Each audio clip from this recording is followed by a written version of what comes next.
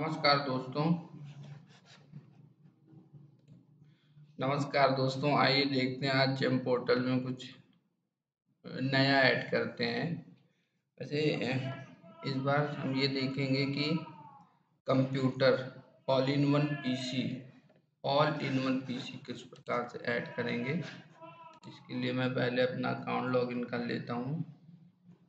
All in one PC किसी भी type का कंप्यूटर हो या पीसी हो, उसको आप इसमें किस प्रकार से ऐड करेंगे बिना ऑथराइजेशन के? पीसी है ऑल इन वन पीसी है कंप्यूटर है, ये सब क्या है कि ये सब क्यू टू में चले जाते हैं क्वाड्रेंट टू में, जिससे कि कभी कभी बड़ी समस्या होती है इन लोग, इनको अपडेट अपलोड करने में इस प्रोडक्ट को तो मैं ये अभी आपको लाइव दिखाऊँगा एक वीड आई थी। तो मैं उसी के बेस पे आपको ये करके दिखा रहा हूँ कि किस प्रकार से हम कंप्यूटर या पीसी को ऐड करें। देखिए, ये वीड आई हुई है। इसकी आप देख सकते हैं कि 24 तारीख इसकी लास्ट डेट है और भी सरकारी विभाग की है। तो अभी आप यहाँ पे मैं आपको दिखा दूँ उसका स्पेसिफिकेशन ठीक है? बायर स्पेसिफिकेशन डॉक्यूमेंट ये चीज़ है है? यहाँ आप देख सकते हैं, ये चीज़ यहाँ पर है, ठीक है? और यहाँ पर आप ये देखिए, यहाँ पर इसमें में तेज़ी रखा है, यहाँ पर ये देखिए all in one PC all in one computer with printer and UPS दोस्तों, ठीक है? और इसमें सारी टर्म्स कंडीशन ये दे रखी है, वो आपको फुलफिल करनी पड़ेंगी जब भी आप इसको पार्टिसिपेट करेंगे। तो मैं आपको सिर्फ़ ये यहाँ पे बता रहा हूँ कि किस प्रकार से इस प्रोडक्ट को हम ऐड करेंगे। सबसे पहले ऐड करने के लिए हमको पहले ये सर्च करना पड़ेगा। इस बिट को बिट में जाके हमने यहाँ पे इसको बिट कॉपी कर लिया। कॉपी करके पेस्ट करने में आपको बहुत आसानी से आप उसको वो कर सकते हैं। ठीक है? यहाँ पे जाके हमने सर्च किया। देखिए नो फाउंड डाटा दिखा रहा है, लेकिन कोई दिक्कत नहीं, इससे परेशान होने की बात नहीं है कि नो फाउंड डेटा बता रहा है। ठीक है? इसका जो ओल्ड वाला फॉर्मेट आता है, ये वाला, ठीक है? हम यहाँ पे सर्च करेंगे। ठीक है? देखिए नो रिकॉर्ड फाउंड दिखा रहा है, तब भी कोई परेशान होने की ज़रूरत नहीं है। देखिए, यहाँ पर क्या है? यहाँ पे तीन चीज़ें मांगी गई हैं ना। एक है डेस्कटॉप एक है आपका प्रिंटर है और एक यूपीएस है। तो मैं ये आपको दूसरा ऑप्शन बता रहा हूँ चेक कर रहे हैं। देखिए आपके सामने ही सारी चीज़ें चल रही हैं। यहाँ पे आप चेक क्या होता है कि थोड़ा बहुत हमें ये चीज़ें देखनी पड़ती हैं, ध्यान रखनी पड़ती हैं कि वो किस टाइप या तो आपको डायरेक्ट पता हो कि किस तरह की बीड है, या तो फिर आपको इस तरह से चेक करना पड़ेगा कि ये किस प्रकार की बीड है। तो इसमें बहुत ज़्यादा परेशान होने की या घबराने की ज़रूरत नहीं है कि बीड हमें मिल नहीं रही है, ठीक है? अब आप यहाँ पर देखिए। तीसरा ऑप्शन है कस्टम बीड का, ठीक है? तो ये प्रोडक्ट है तो बिड में होगा या बंच बिड में होगा या कस्टम बिड में होगा, तीन ही ऑप्शन चलिए अब मैं कस्टम बिड में इसको पेस्ट देखिए, आ गया यहाँ पे। कस्टम बिड में जैसे मैंने पेस्ट किया, यहाँ पे आ गया। बिड में किया तो नहीं आया बंच बिड में किया तो नहीं आया, ठीक है? तो हो सकता है आपको लगे कि इसमें नहीं है, लेकिन ऐसा नहीं है। उसको हमें थोड़ा चेक करना पड़ता है, उसमें होमवर्क करना पड़ता है। कस्टम में जैसे ही मैंने वो किया, वैसे ही यहाँ पे आ गया। अब देखिए पार्टिसिपेट का ऑप्शन आ रहा है, अब हम इसको पार्टिसिपेट करेंगे। ठीक है? ये ये वीडियो इसलिए भी इम्पोर्टेंट है कि पीसी कंप्यूटर प्रिंटर यूपीएस को किस प्रकार से हम जिम पोर्टल में ऐड करेंगे, ये इसकी मेन बात है, ठीक है? इससे आप सीख जाएँगे कि किस प्रकार से हम ये सारी चीज़ें ऐड कर सकते हैं। देख लीजिए, यहाँ पर भी नहीं है। यहाँ पर जितने भी प्रोडक्ट आए हमारे यहाँ पर अभी कंप्यूटर या पीसी नहीं है।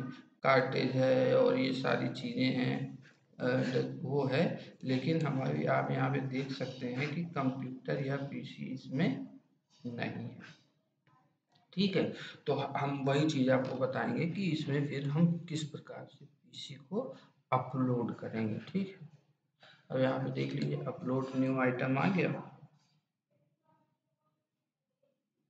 अपलोड न्यू आइटम बटन में क्लिक करेंगे तो यहाँ पे देखिएगा, यहाँ पे ये खुल के ऑप्शन आ जाएँगे और यहाँ से हम इसको ऐड करेंगे, ठीक है? तो जो भी प्रोडक्ट आपको ऐड करना है, उससे पहले उसकी कॉन्फ़िगरेशन तो आपको निकालनी ही पड़ेगी। अगर आप उसकी कॉन्फ़िगरेशन निकाल लेंगे तो उससे क्या है कि आपको ईज़िली वो हो जाएगा। ठीक है तो मैंने इसकी कॉन्फ़िगरेशन निकाल रखी है, मंगा रखी है। ठीक है H P all in one desktop PC अभी आप इसका, जैसे अगर नहीं आइडिया लगता है तो आप इसको जाके एच पी की साइट से भी देख सकते हैं। H P all in one desktop H P all in one desktop और क्या था? पीसी पीसी डेस्कटॉप पीसी ये चीज़ है, ये हम एच पी के ही साइड से इसका वो देख सकते हैं, इसका ये निकाल सकते हैं। ये देखिए, यही यही चीज़ है, ठीक है। है क्या कि अब हम आपको यहाँ पे ये दिखा दें कि इसकी कॉन्फ़िगरेशन जो मांगी गई है, उसके बेस पे तो ऐड करेंगे, ठीक है। तो कहाँ गया? ये देखिए, ठीक है। कुछ स्पेसिफिकेशन मैं आपको मैच भी करा दे रहा हूँ यहाँ पे। देखिए processor twelfth generation Intel core i five है? ये देखिए twelfth generation Intel core i five processor ये सारी कॉन्फ़िगरेशन के ही हिसाब से हम उस प्रोडक्ट को ऐड करेंगे। ठीक है?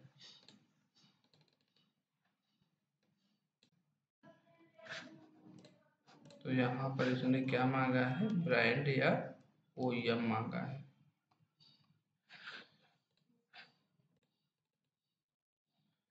ब्रांड इसने यहाँ से मांगा है। तो ये है आपका brand H P all in one desktop desktop ये कर दिया। कस्टम स्पेसिफिकेशन कस्टम स्पेसिफिकेशन हमें इसमें फिल करनी पड़ेगी। यहाँ पर देखिए, ये जो कूलर दिया गया है, ये इसका स्पेसिफिकेशन ही दिया गया है, ठीक है? ये इसका स्पेसिफिकेशन दिया गया तो इसको हमें प्रोसेस करना पड़ेगा आगे ठीक है? मॉडल हमने डाल दिया, ये। प्रोडक्ट नेम हो जाएगा हमारा H P desktop P C ठीक है। और जो स्पेसिफिकेशन ये तो हो ही जाएगा। बाकी यहीं से स्पेसिफिकेशन हम कुछ ले लेते हैं इसकी। कॉपी करके हम इस पर पेस्ट कर ठीक है?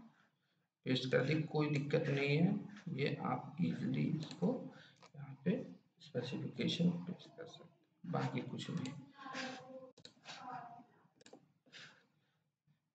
इसी बिट नंबर डाल देते हैं। क्योंकि वो मांग रहा है, अगर नहीं माँगता तो नहीं डालते। एक्टिविट है सेविंग प्रोसेस कर ठीक है? अब यहाँ पर देखिए, हम रिसेलर हैं, ठीक है? इंडिया कर दिया ओके कर दिया हंड्रेड परसेंट कर दिया।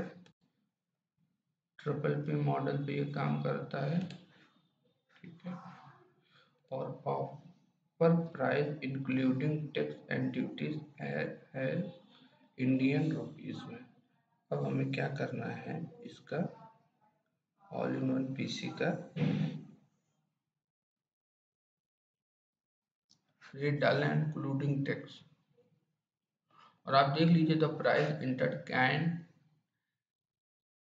can not be increase for the next thirty days मतलब तीस, अगर आप जो भी इसमें डाल देंगे अगले तीस दिनों तक इसका कोई भी प्राइस चेंज नहीं किया जाएगा। तो इसलिए आप लोग थोड़ा ध्यान से देख के इसका प्राइस ऐड करिएगा, जिससे कि दिक्कत ना हो आपको।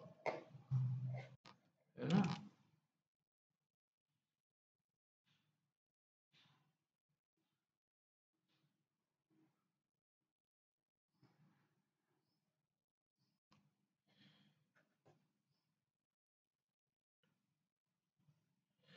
मैं इसकी बहत्तर पाँच सौ ऐड कर रहा हूँ इसको। या आप इस समय कुछ भी एक महीने तक नहीं चेंज कर सकते तो आप इसका कुछ भी डाल दीजिए, फिर बाद में इसको आप चेंज कर सकते हैं। क्योंकि ये जो हम अभी प्राइस डाल रहे हैं, ये कोई फाइनल प्राइस तो डाल नहीं रहे हैं। ठीक है?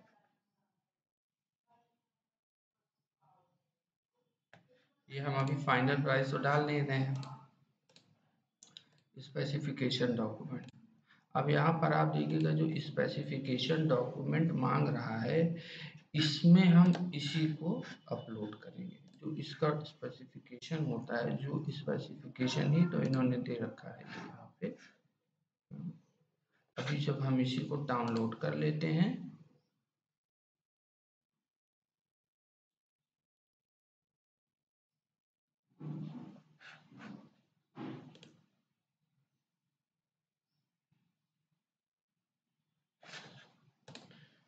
ठीक है ये देखिए यहाँ पे हम इसको डाउन कर लेते हैं।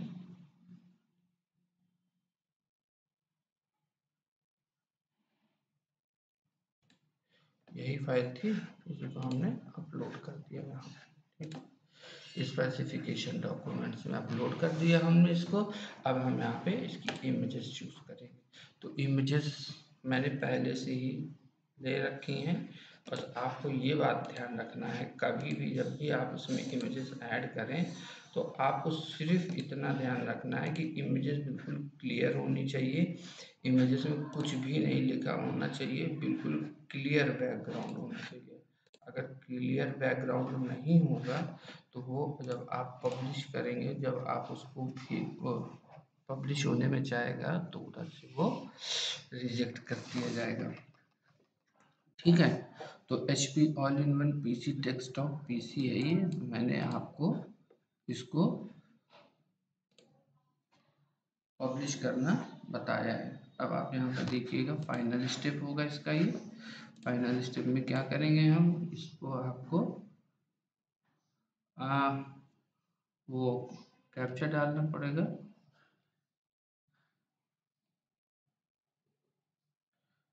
मैं आपको इसलिए धीरे धीरे बता रहा हूँ कि आप इसको समझते जाए सारे स्टेप्स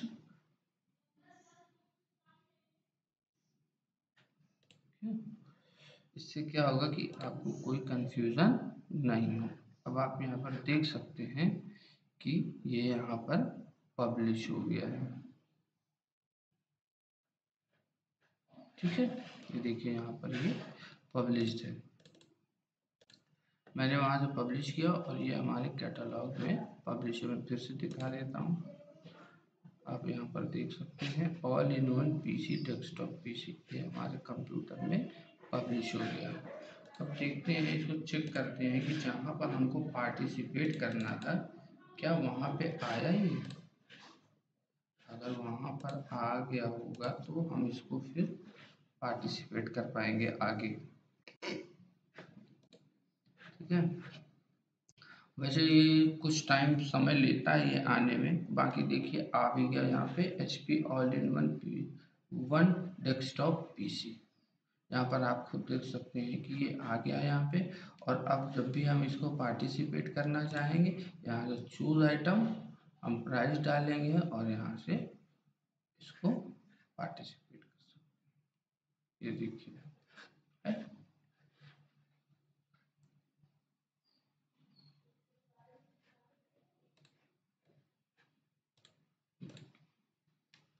जितना भी आपको नंबर इसमें लेना है, उतने ही आप इस पर वो कर सकते हैं।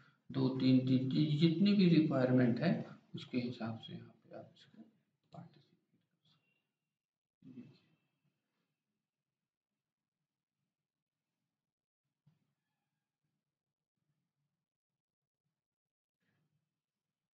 सकते हैं। गया यहाँ पे पहला स्टेप